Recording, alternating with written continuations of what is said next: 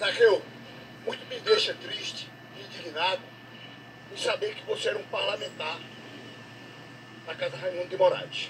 E como é que você vê o total abandono? Exatamente na área da agricultura. Você vê que não teve trator para o homem do campo, não teve aração de terra, não teve investimento na agricultura. E hoje a gente se pousar de bonzinhos aqui. Você deveria ter tomado suas posições isso antes. Porque a gente não deve ser convigente com o prefeito. A gente tem que estar libertado. Exatamente ao vereador e ao prefeito.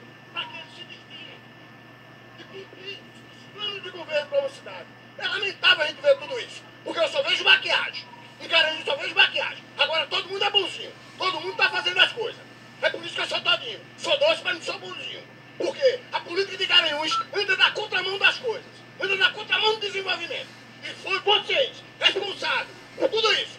Foram vocês políticos responsáveis por tudo isso. Pela Ok, desgraça. candidato.